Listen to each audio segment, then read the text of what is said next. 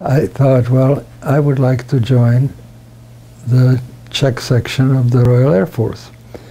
And, uh, but in order to do that, you had to go to Canada. So I had to go to the draft board to get permission to leave the country. And I explained to a nice old gentleman, and uh, he was very understanding, and he said, do you know anybody in Canada? I said, yes, we have some Czech friends in,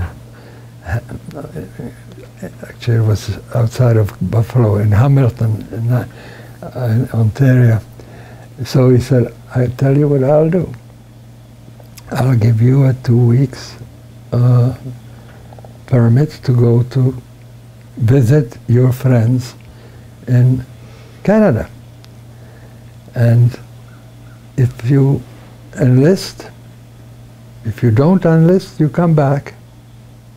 Tell me and I will mark you as back in the country. But if you enlist,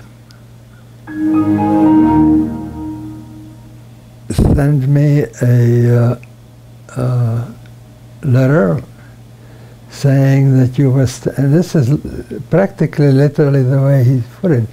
I was standing on the corner and this group of people came down with waving flags about, you know, join the forces, and I was overcome and I enlisted.